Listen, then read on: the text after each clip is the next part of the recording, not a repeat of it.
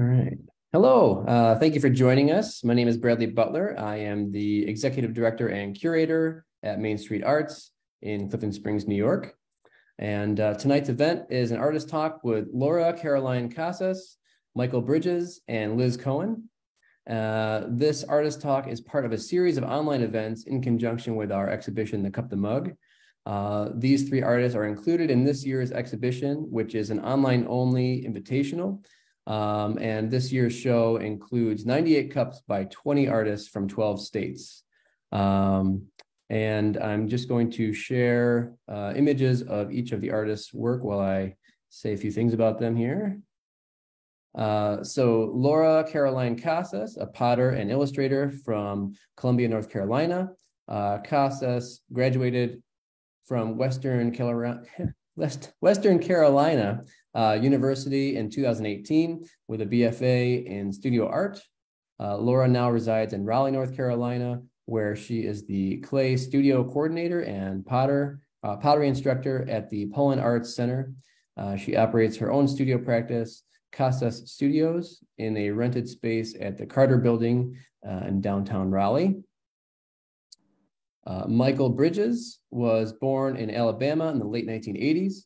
He grew up playing violin to his pet turtles after school and fishing with his brother on the weekends. Uh, he currently resides in Chicago, Illinois, where he works as a potter and teacher. And he's been featured in a variety of publications uh, from Garden and Gun to Ceramics Monthly. And uh, Liz Cohen is a ceramic artist based out of Denver, uh, Colorado. She received a BA in studio art from Georgia State University and has been working with clay since 2010.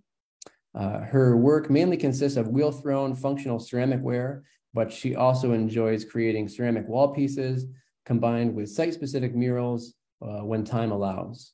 Uh, Liz currently works out of a warehouse space close to her home. So uh, before we uh, get into the, the talk, um, I'd just like for each of the artists to maybe share a little bit more about themselves. Um, and uh, Laura, would you like to uh, to start us off? Sure. Um, yeah. So I have this rented studio space, and I think I do my studio tour this Friday. Um, I've been here for um, I've been in Raleigh, and I've had this space for about two years. Um, I'm a hand builder, I like to pinch, pinch all my pots. Um, and yeah, I'm how how deep do you want me to go, or is this just like the the brief? Oh yeah, you can. I mean, we'll get into kind of a little bit of a discussion, but if there's anything about you know yourself as it relates to your ceramics or anything specific you'd like to say at this time, you can. Um, and if not, uh, that's good too. Yeah, I mean, yeah, my um, I originally went to school for like art ed, music ed, didn't really know exactly what, but um, when I took, you know, when I took a ceramics class, I was like, oh, this is it. This is what I want to do. Um, but you know, my my um, concept of art, fine art, going to art school was very kind of juvenile, really. I only thought of um, when I thought of fine art and stuff like that, I only thought of painting and photography, that kind of thing. Um, so I never pottery was really really never on my radar. Um, but you know, later I realized that I could combine, you know, my love for um, illustration um, and things like that with ceramics. Uh, so a lot of my work is inspired uh, or directly inspired by um, my heritage as a Mexican American um, individual uh, and you know the things that I grew up with here in the Americas, like um, like animators like uh, Bluth and um, Milt Kahl's and um, things like that, like uh, Sword in the Stone. I I love that movie, um, uh, and particularly like um, there's this one's children. There's this one children's book that I always think about. And then later in life, like literally maybe a year ago, I just found out there was like a musical vinyl album written by an by a um, musician uh, Takanaka. I think that's who it is. Um, it's called the Rainbow um, Rainbow Goblins, and I feel like listening to that album, I want my pieces to embody what that entails, what that children's book entails. It, I don't know, it the music, the the the music that goes with that, the children's book concept of the Rainbow Goblins. Um, I was like, wow, yeah, I can't believe how much that whole little series kind of subconsciously informed a lot of my work. And then, you know, again, a lot of the nostalgic cartoons and children's books and things like that also really informed.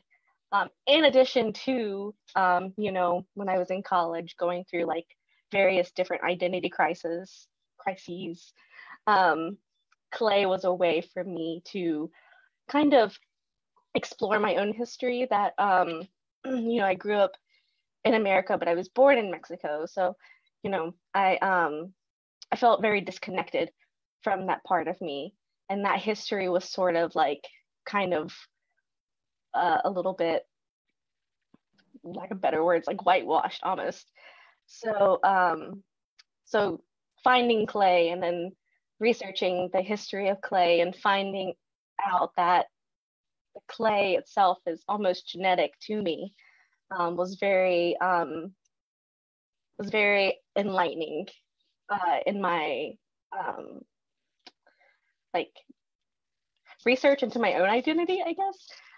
Either way, um, there's a lot of subtle notes and messages to that in my work, um, in addition to the um, the fun illustrations and things.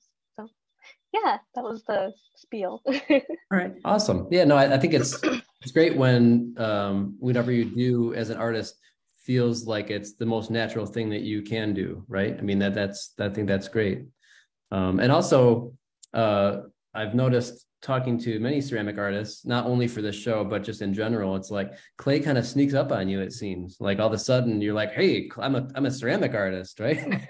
uh, so that's uh I, I, I love that I keep hearing that. So I think that's great. So, and I now I'm really curious to see uh, if the other two here tonight have had that same experience or a different one. So, uh, thank you, Laura. Um, and uh, Michael, would you like to tell us uh, a bit more about yourself?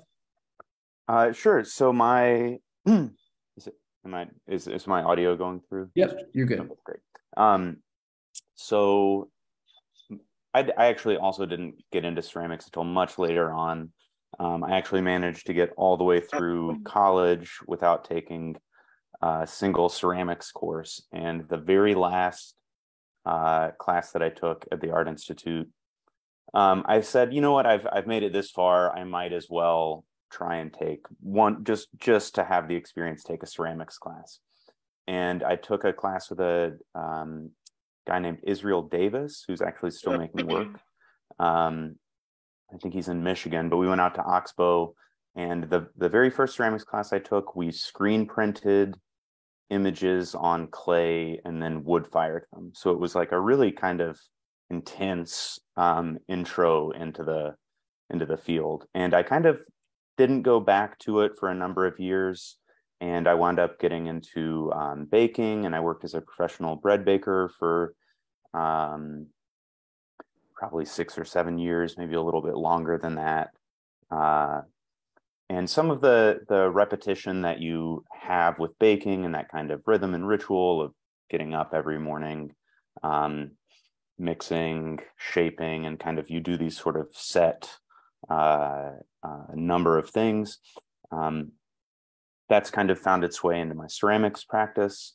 And even when I was on my way out from baking and into ceramics, uh, those two things kind of paralleled each other in a lot of the the rhythm of how how you work with ceramics. And I think it's a very accurate description to say that a lot of people kind of it sort of sneaks up on you because you don't really realize that you're getting into that rhythm um, until maybe it's a little too late and then all of a sudden you're like oh my god i've got 600 cups where did all these cups come from and how do i get rid of them um, but that's i guess that's uh, that's just talking about what kind of what, what the um, this the ceramics sneaking up on you can do. That's great. And uh, uh, Sam Chumley also talked about how he's really into baking. Uh, so you know, there's something something there too. A lot of a lot of commonalities here with with ceramic artists. Um, great. And I mean, I think you know, I think that there's a lot of you you put you put both in the oven. I mean, there's uh, yeah. one tastes better than the other, but you know, one lasts long. That's so. debatable. Sam, yeah, Sam's actually uh, he's hit me up a couple times for some some recipes, which is or you know just sort of like how's this looking, dude? He's, it looks like he's doing great. He's killing yeah. it. So. Nice, nice. All right, well, great. Well, thank you. And uh, Liz, uh, would you like to tell us a bit about a bit more about yourself? Sure. Um, my name is Liz Cohen. I uh, I moved to Denver in 2014 with my partner, and um, that was kind of one of the stepping stones into like what I'm doing now, I guess. But I I went to school in Georgia right when I was done with school. I I moved out here, but I yeah I studied studio art at Georgia State. I'd always been artistically inclined as a kid um, and growing up, so. Uh, I didn't really know what I wanted to do when I went to school. I knew I wanted to be in the arts uh, in some capacity. So once I took my first uh, clay class is kind of when it like hit me that like it checked all the boxes for me about the things I liked about art. Um, you know, like I was always drawing and painting growing up because we didn't have any ceramics programs at my uh, schools growing up. So um, drawing and painting were a big thing for me. And once I took a clay class, I was like, all right, like this is this is what I this is what I needed. Like I was missing something in it. So it clicked. Um, so yeah, I moved out here after graduating and I worked in um, I worked in the restaurant industry, but also I worked at a rec center and I was a studio tech for a uh, ceramics program there and uh, also taught there eventually. Then I helped open up or like start a very small uh, ceramics program at this adult center, um, adult and senior center. So I helped them get a little ceramics program going there. And then took a little detour to, you know, do some adulting. I had to get a, a big girl job um, to like buy a house and all of this stuff. Once I got the house, that's when uh, things with the business started growing. And um, yeah, I just uh, I've I've been making ever since I was in school. Most of the time, I was just kind of playing around, experimenting, learning, learning stuff, and getting uh, honing my skills and um, figuring out what I liked and what I didn't like, and uh, what direction I wanted to go with my work. So once I had a studio space at the house that we were able to buy, that's when I I found I feel like I found my voice so the last few years, uh, we bought that house in 2018. So the last few years has just been kind of um, growing that around the style that I like came upon. So yeah, in a nutshell, that's all of it. All right, great, great. Well, thank you. Um, well, so all of you, um, you know, in your artist statements reference either um, memory or the past and i thought that that was a really interesting overlap you know you all kind of reference that in in some some way um, so does anyone have anything to share to kind of start a conversation like i know that um, laura you kind of shared um, a lot about that when you you spoke already um, so does anyone you know have have anything to kind of to to say about what what draws them to like that in their work yeah, I can. It's it's it's funny you bring that you know that particular concept up because uh, I just started reading um, Questlove's book, uh, Create. I think it's Quest Creative. Oh my goodness, I can't remember. Creative Quest. Either way, he has a section in the book where he's talking about you know using the past as a reference for creative art making and like using that as a part of your process and um and yeah, that's totally right. Like I have all these sketchbooks that I'm referencing. Um, and like what's the point of keeping sketchbooks or keeping notes like that if you're not going to reference them? Like what's the point of doing all of this research if you're not going to eventually you know circle around and go back to it?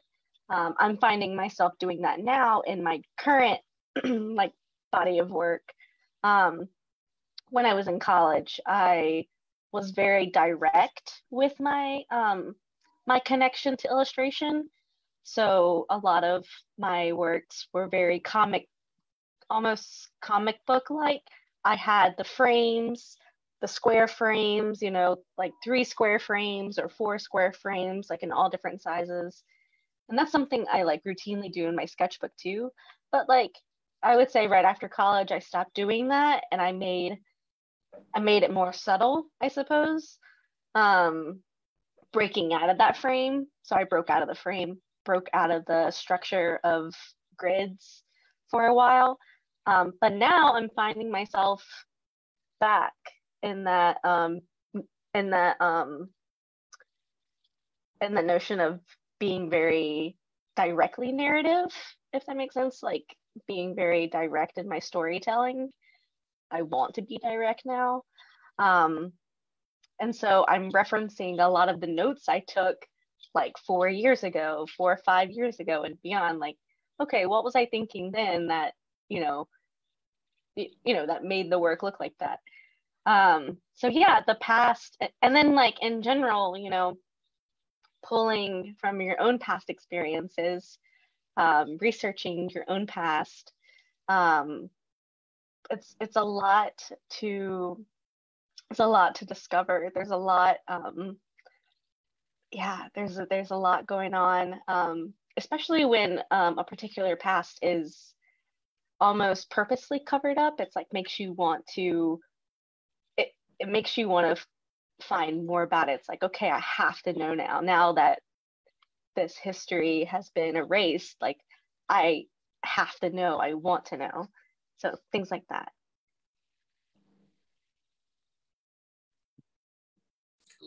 Yeah, I mean that's almost like um, there's no there's no limit on where that can go then for you, right? Yeah.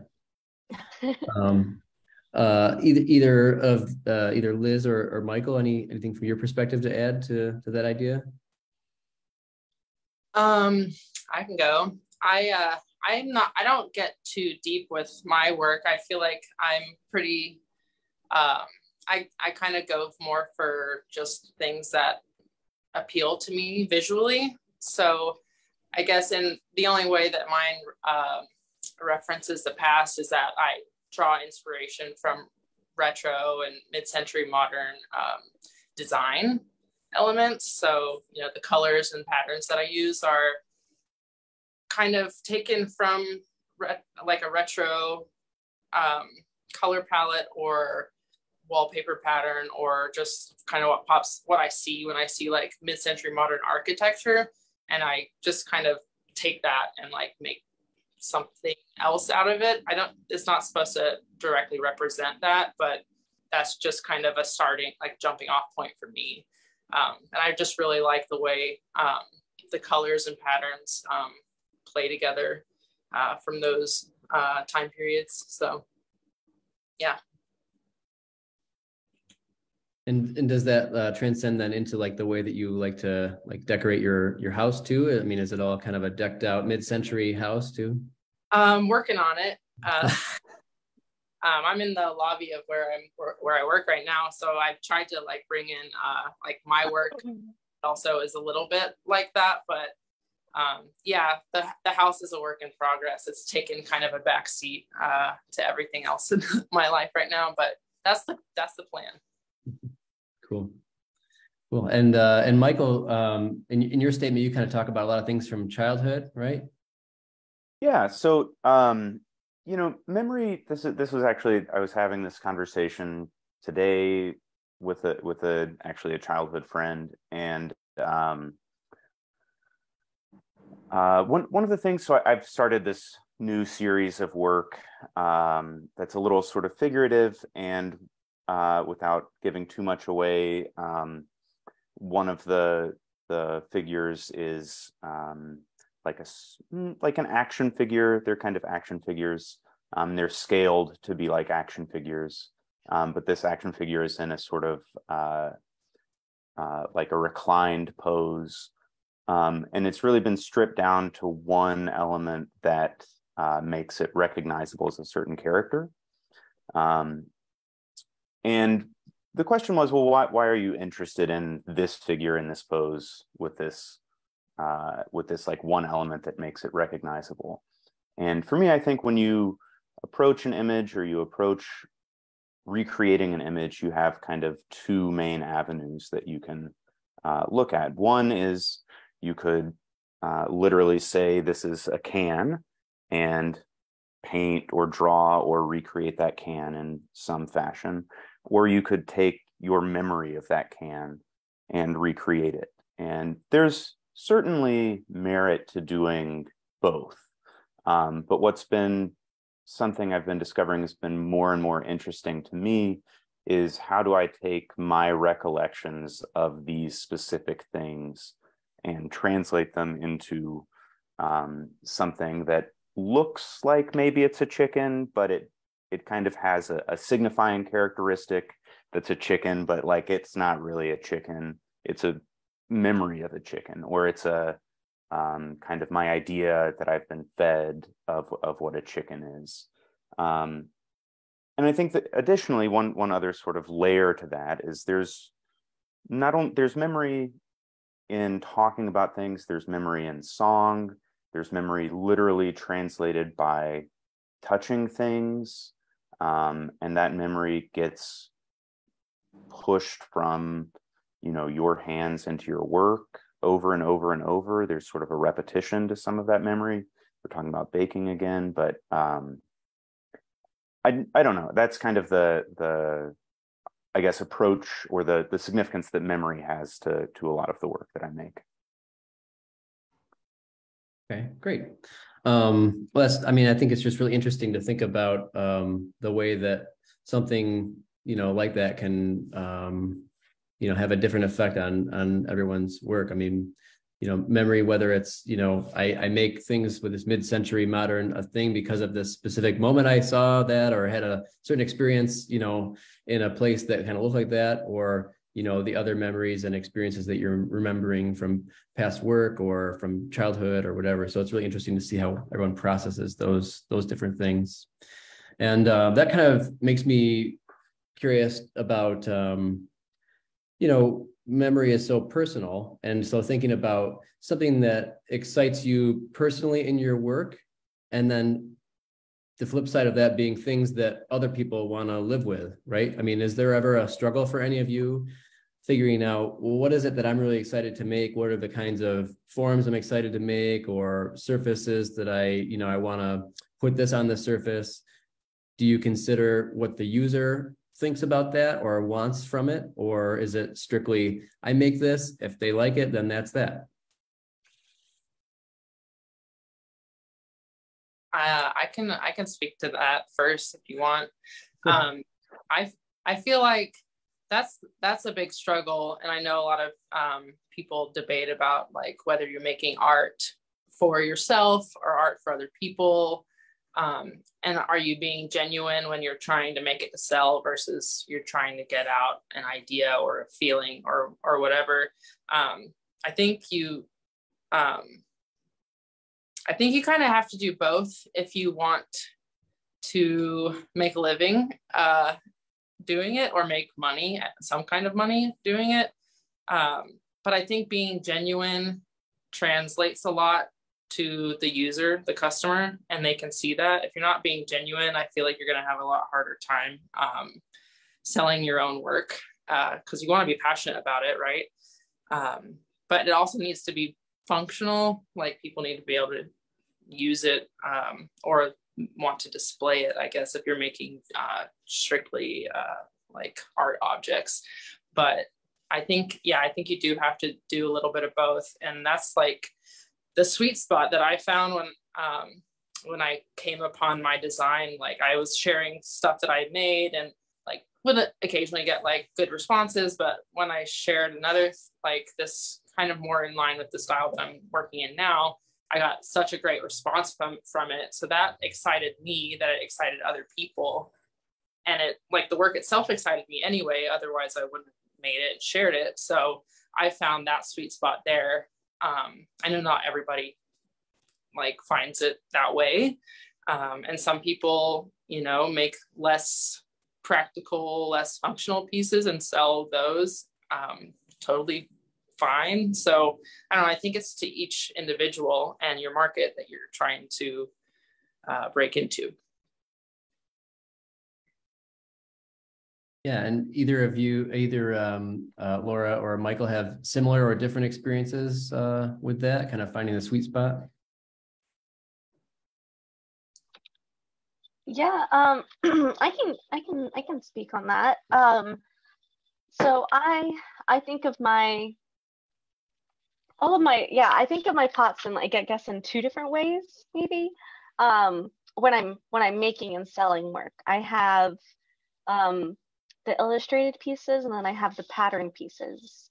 Um my pattern pieces are ones that they're motifs that are um that are informed from the illustrated works but they're able to re be repeated.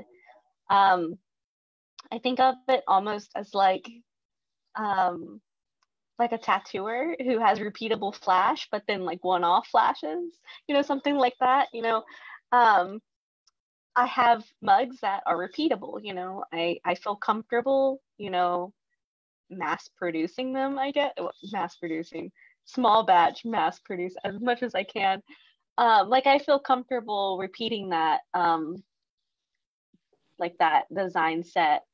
Um, Whereas my more illustrated pieces, I feel very not necessarily strict with those, but they're definitely one offs. Like I don't, I won't ever make another one like that ever again. Like the next one might be informed by the last one, but it's not going to be the same. I'm always going to, I feel like with my illustrated pieces is when I give myself that chance to explore or um, to explore concepts and to um to to yeah be um to be myself like be more um open i guess? I don't know exactly what the word is but uh but yeah my illustrated pieces is where i find the most joy in making um and then also the pattern pieces are fun too but they're repeatable and so it's i feel like when i'm making those i'm I'm a machine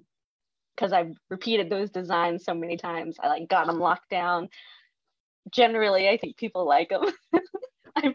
and so, um, so things like that. And also, I can sell those at kind of a more affordable rate, you know.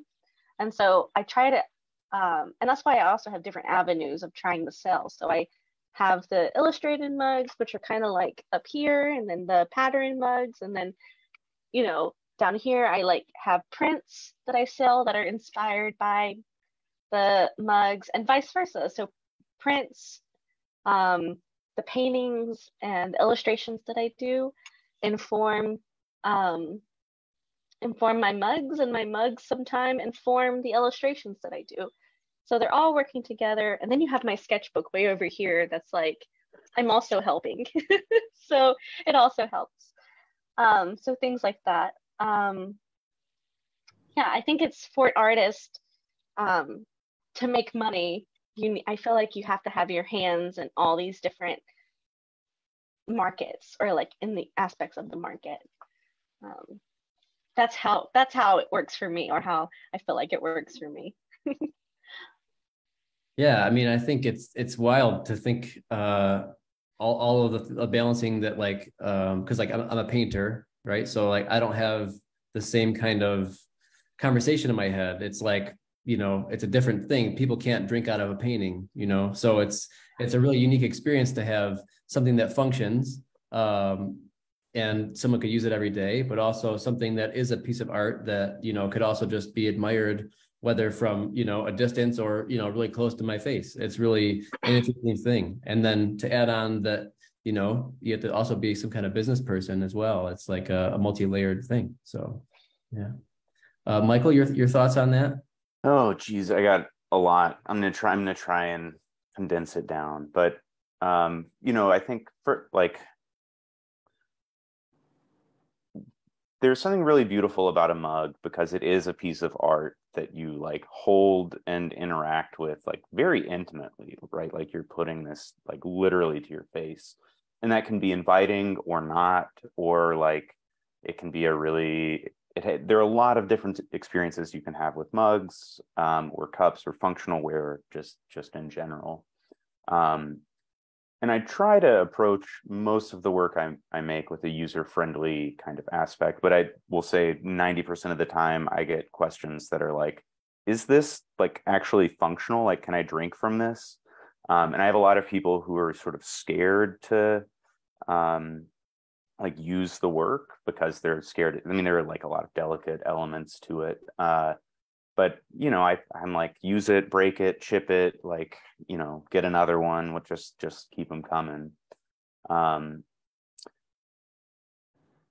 but in terms of generating those ideas and this I'll, I'll keep this somewhat brief but in terms of generating those, those ideas i i feel like there's a very delicate place early on when you have an idea that you can't really share it. It's like when you're writing a song you write the lyrics or you write the music or you sort of there's one little there's a certain aspect that you have that idea that you need to put down um, just to sort of see the bones of it and then you maybe work on it a little bit more you come back to it you put it through the kiln it kind of goes through this process. Maybe it comes out of the kiln and you realize that it's a bad idea or it needs tweaking. And i'm really really really bad about like making 10 of something before i have any of them fired so i wind up getting like I realize there's a flaw in it, and then I have like ten. You know, I'm like I can't use ten of these pictures because like there's a problem with, you know, something. But I, I'm just so excited about the idea, um, and that can that can certainly be a, a a challenging aspect. Or if there's something like, especially with social media, where you post a like in progress picture of something, or or like an idea that's not fully developed and then all of a sudden it's like open to like thousands of people who are giving their opinions on it. And that's a really challenging thing to navigate that in the sort of creative process of getting all this feedback much earlier on than you really need to um, especially because you have to sell like if at a point where you're trying to sell something um, it can really throw you for a curve it can be a it can be a bad thing in a lot of ways um, so I don't know. That's my that's my two cents on that. Yeah, no, that's great.